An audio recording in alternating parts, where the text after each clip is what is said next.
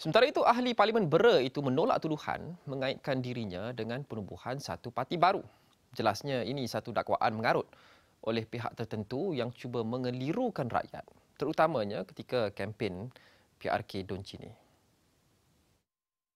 Saya pun tak tahu ini mengarut punya nama saya pun ada. Saya dah kata saya dengan AMNO hidup mati saya bersama AMNO ya dan kalau saya berhenti politik sekalipun, saya berhenti bersama di dalam UMNO juga.